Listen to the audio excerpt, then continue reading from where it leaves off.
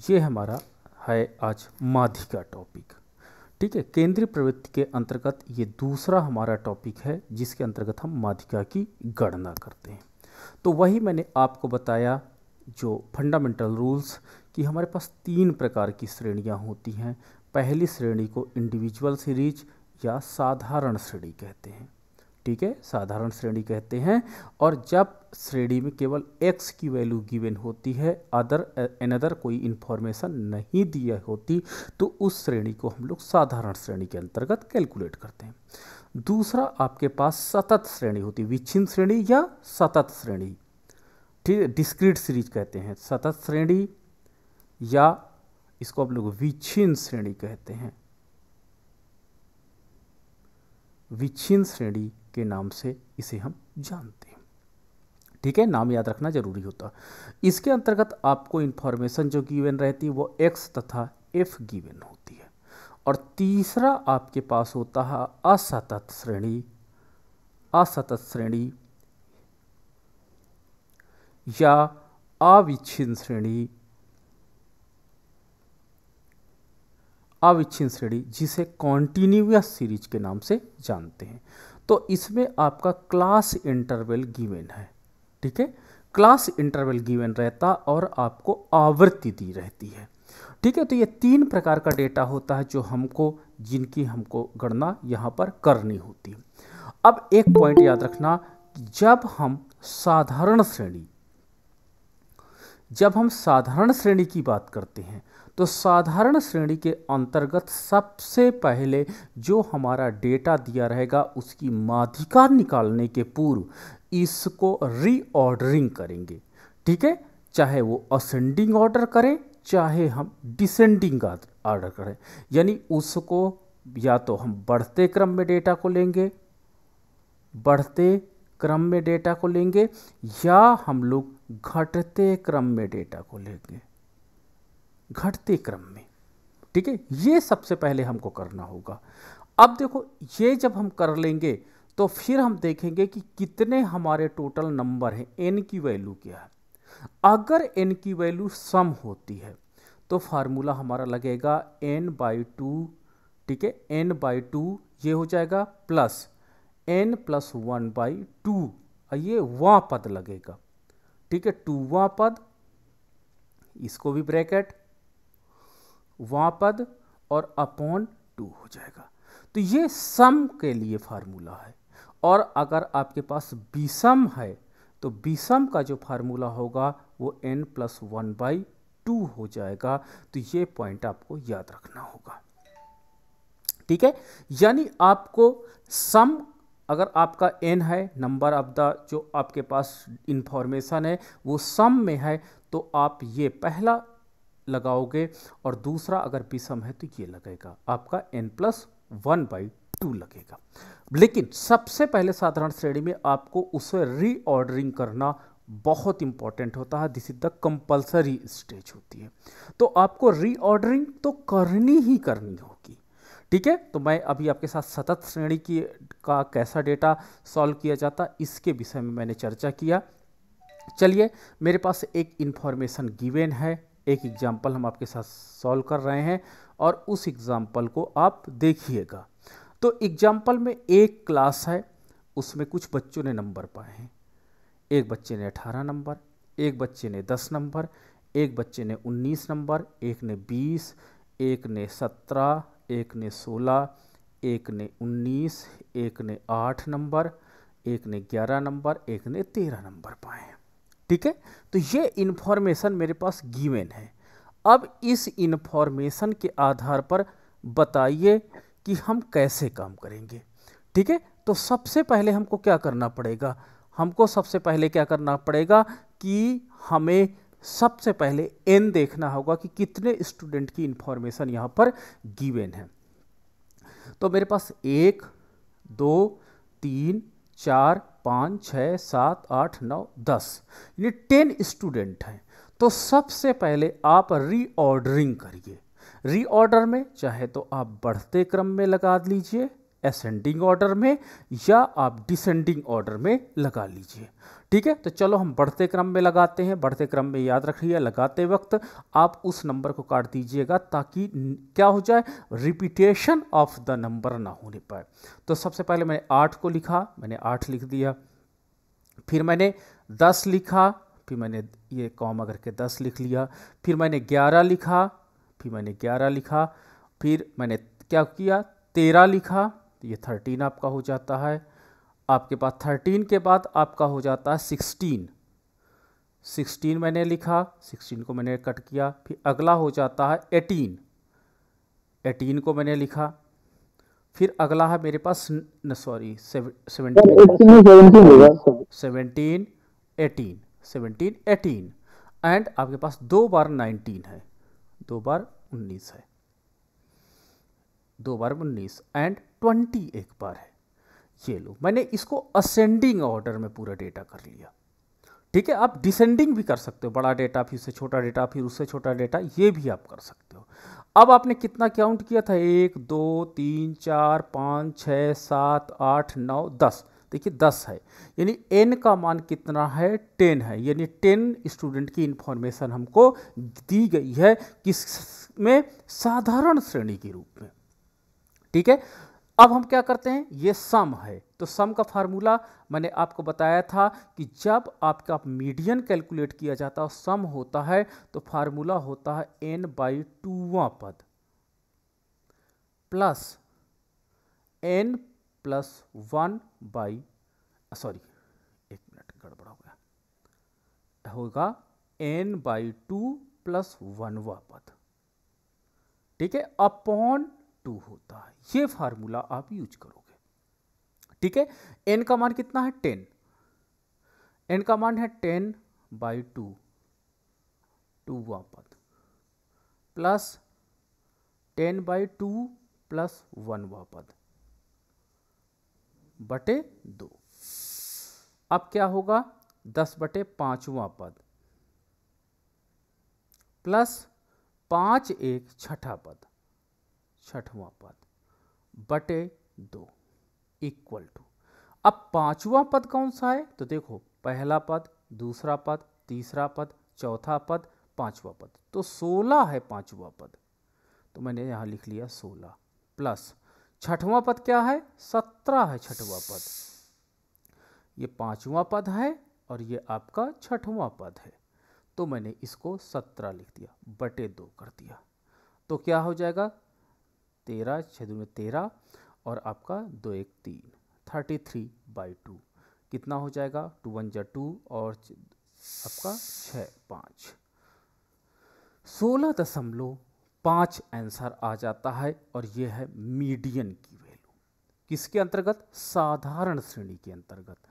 ठीक है, अगर साधारण श्रेणी के अंतर्गत आपकी जो वैल्यू है इवन है और उसके अंतर्गत आपका जो वेल एन का मान है, उस पर आपको फार्मूला सोचना पड़ेगा कि कौन से हमें फार्मूले को इम्प्लीमेंट करना सम के लिए मैंने बताया, दूसरा फार्मूला लगता है एंड विषम के लिए आपका जो फार्मूला होता है, वो बदल जाता है। चलिए, मैं एक विषम का क्वेश्चन आपके साथ कर लेता हूँ।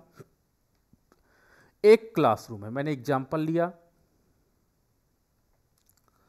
एग्ज़ाम्पल लिया, एक क्लासरूम है, उसमें एक बच्चे को दस नंबर, दूसरे बच्चे को बीस, तीसरे बच्चे को तेरह, चौथे बच्चे को आठ, सत्रह, सोलह, उन्नीस, अठारह, सत्रह।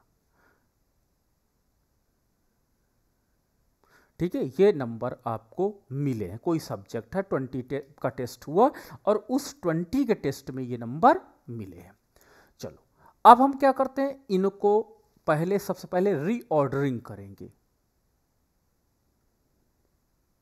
रीऑर्डरिंग करेंगे। तो सबसे हम मैं छोटे से उठाता हूँ तो ज़ीरो एट। नेक्स्ट आपका इसको मैंने कट कर दिया, फिर मैंने टेन को लिया, फिर मैंने टेन को कट किया, फिर नेक्स्ट है थर्टीन तो थर्टीन को मैंने लिया थर्टीन को कट किया, फिर नेक्स्ट है सिक्सटीन सिक्सटीन फिर सेवनटीन फिर आपका है एटीन फिर आपका है नहीं हाँ सत्रह सत्रह दो बार है। सत्रह दो बार है आपका। फिर है आपका एटीन, फिर आपका है ट्वेंटी। तो देखो कितने नंबर हुए? एक, दो, तीन, चार, पाँच छः सात, आठ। एक और नौ होना चाहिए। क्या हुआ? कोई नंबर मिसिंग हुआ? नाइनटीन अच्छा नाइनटीन मिसिंग है। Nineteen and twenty. ठीक है, नाइनटीन एंड ट्वेंटी। तो देखो एन का मान कितना है? यहाँ पर नौ। यानी आपका एन जो है, वो बीसम है। एन आपका यहाँ पर बीसम है।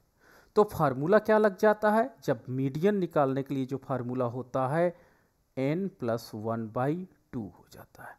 तो आपका एन कितना है? नौ। नौ प्लस एक बटे दो। तो आपका हो जाएगा दस बटे दो। तो फिफ्थ हो जाता है। पांचवा नंबर जो होगा, फिफ्थ जो नंबर होगा, यहाँ पे याद रखना, टी एच लगाना अनिवार्य होता है।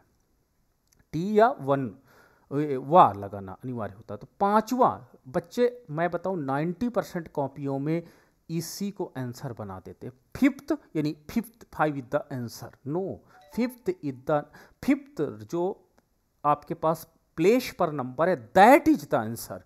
तो फिफ्थ प्लेस पे कौन सा नंबर है?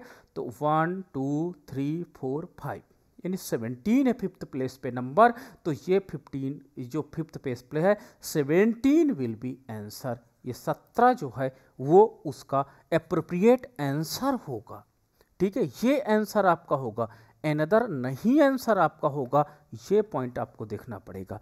तो ये मैंने आपके साथ डिस्कस किया, यदि आपका नंबर बीसम है तो। चलो ये हमने बताया आपको साधारण श्रेणी के अंतर्गत इफ़ योर आपका जो नंबर है टोटल वो वो एन का मान पॉजिटिव सर ये इसको इंग्लिश में क्या बोलते हैं? किसको? किसको? साधारण श्रेणी को। इंडिविजुअल सीरीज़ में बता तो रहा हूँ बार बार। इंडिविजुअल सीरीज़ डिस्क्रीट सीरीज़ मैंने शुरू में पढ़ाया आपको सारी चीज़ें बताई यहाँ पे। Individual series discrete series continuous series तीन प्रकार की सीरीज़ होती हैं। अब आगे आते हैं। अब आगे आते हैं असतत श्रेणी। असतत श्रेणी।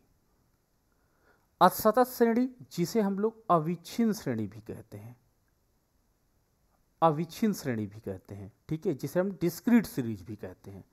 इसमें आप जानते हो कि x और f की वैल्यू गिवन होती है। f की वैल्यू गिवन होती है तथा x की वैल्यू गिवन होती है। तो इस तरह का जो डेटा होता है, उस डेटा में जो आप निकालोगे तो उसमें केवल फार्मूले में ये चेंज होता कि अगर वैल्यू ऑट और इवन में सम या विषम में है तो सम के लिए जो फार्मूला होगा, वो एन बाई टू बनेगा, तथा विषम के लिए जो फार्मूला बनेगा, वो आपका n plus one by two बनेगा। ठीक है? जैसे साधारण श्रेणी श्रेणी के अंतर्गत इंडिविजुअल सीरीज़ के अंतर्गत n by n by two plus n by two plus one था बाई टू था, वो चेंज होकर के एन बाई टू के रूप में कन्वर्ट हो जाएगा। यही आपका सतत श्रेणी के अंतर्गत होगा। ये विच्छिन्न सॉरी ये इसमें सतत श्रेणी है और ये आपका विच्छिन्न श्रेणी है। दोनों श्रेणियों के लिए हमको ऐसा मिलेगा। ठीक है? तो चाहे वो सतत श्रेणी हो, चाहे वो विच्छिन्न श्रेणी हो, जिसे हम लोग डिस्क्रीट सीरीज़ कहते हैं डिस्क्रीट सीरीज़ के अंतर्गत आपके फार्मूले में ये चेंजेज पॉसिबल है। ठीक है, ये चेंजेस होंगे। अब चलिए, कैसे हम इसका कैलकुलेशन संपादित करते हैं? देख लेते हैं कि if the information x and f information given दस नंबर क्लास में पाने वाले कितने बच्चे हैं? दो बच्चे हैं। बीस नंबर पाने वाले कितने बच्चे हैं? तीन बच्चे हैं। तीस नंबर पाने वाले कितने बच्चे हैं? पाँच बच्चे हैं। चालीस नंबर पाने वाले कितने बच्चे हैं? छः बच्चे हैं। पचास नंबर पाने वाले कितने बच्चे हैं? दो बच्चे हैं। साठ नंबर पाने वाले कितना बच्चा है? एक बच्चा है। ठीक है? तो ये हमारे पास एक्स की वैल्यू दी रहती है और एफ़ की वैल्यू दी रहती है। तो यहाँ पर हम लोग क्या करते हैं? इसका कैलकुलेशन संपादित करते हैं, लेकिन सबसे पहले इसमें हमको क्या निकालना होता है? कुमुलेटिव फ्रीक्वेंसी जिसे हम लोग सी एफ़ के नाम से जानते हैं। दैट इज़ कॉल्ड क्या होता है? संचयी बारंबारता। ठीक है कुमुलेटिव फ्रीक्वेंसी के नाम से जाना जाता है and we generate the cumulative frequency row हम लोग जो होते हैं रो जनरेट करेंगे कुमुलेटिव फ्रिक्वेंसी तो कैसे जनरेट की जाती है? ये फ्रिक्वेंसी टेबल से जनरेट की जाती है। फ्रिक्वेंसी टेबल आप देख सकते हो, दो, तीन, पाँच छः दो, एक। तो यहाँ पे दो तो ये आपका हो जाएगा दो। दो में से तीन ऐड करोगे तो क्या हो जाएगा? पाँच। पाँच में से पाँच ऐड करोगे तो क्या हो जाएगा? दस। ठीक है? दस में छः ऐड करोगे तो सोलह। सोलह में दो ऐड करोगे तो अट्ठारह। अट्ठारह में एक ऐड करोगे तो उन्नीस। तो इस तरह करके कुमुलेटिव फ्रीक्वेंसी टेबल आप जनरेट करोगे। सर सर कम्युनिटी फ्रीक्वेंसी सिर्फ़ उसी में रहेगा क्या? मीडियन में ही। क्यों? मतलब? नहीं मैं समझ नहीं पा रहा हूँ। आप कहना क्या चाह रहे हो?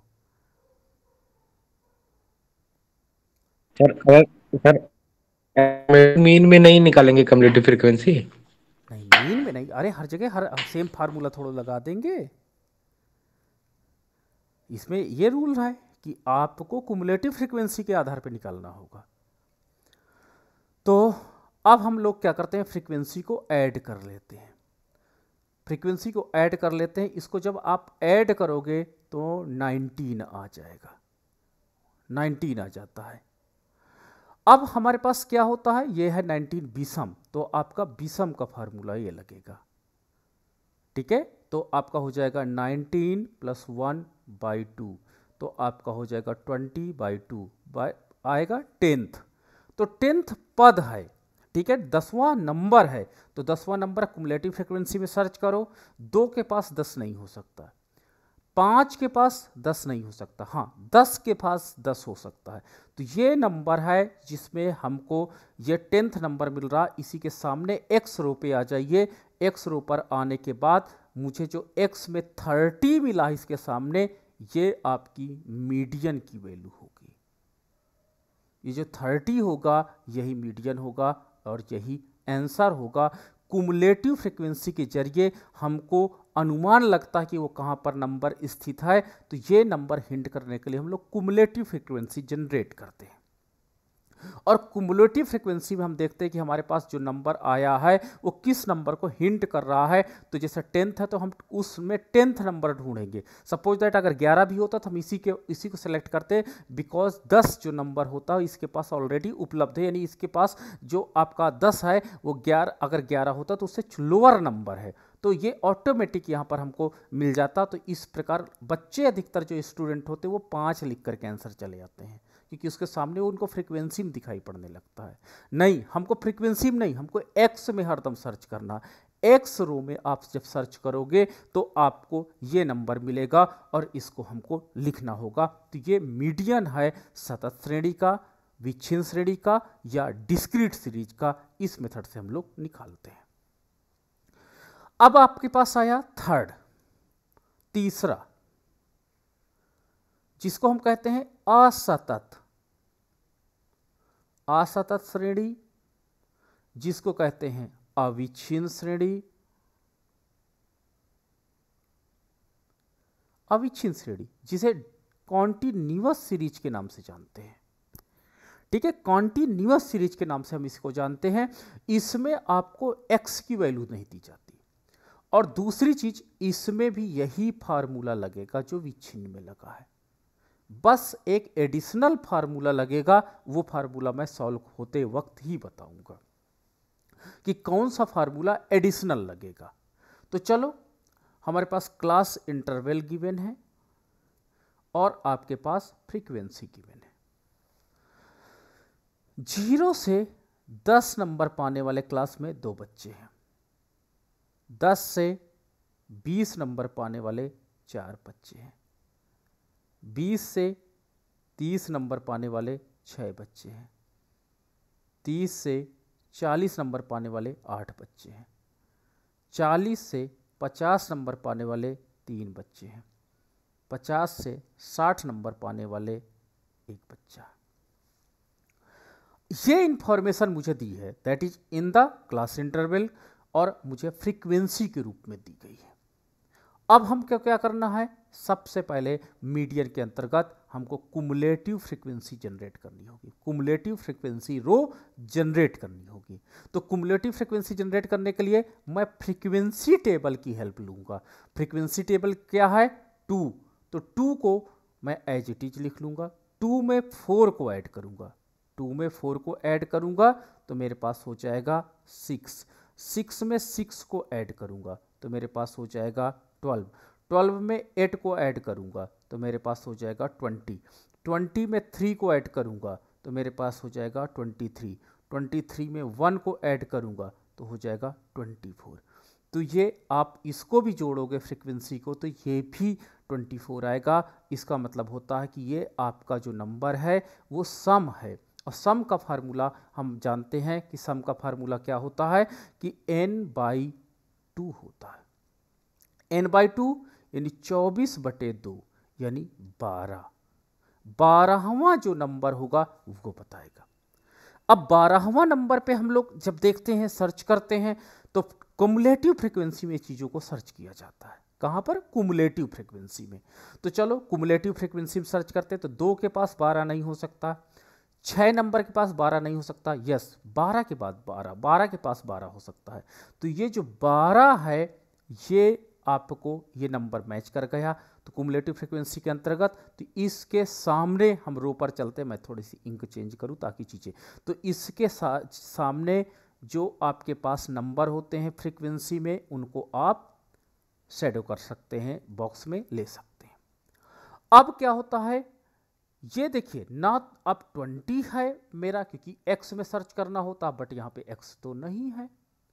तो इसमें आप एक एडिशनल फार्मूला लगेगा। ये जो 20 है क्लास इंटरमेल में, इसको L1 बोलते हैं लोअर लिमिट जो आपका 30 है, वो L2 है। इसके सामने क्या है? फ्रीक्वेंसी है। F है। ठीक है? और ऊपर इसके फ्रीक्वेंसी के हरदम फ्रीक्वेंसी सिक्स है और इसके जस्ट ऊपर वाले नंबर को हम सी कहते हैं।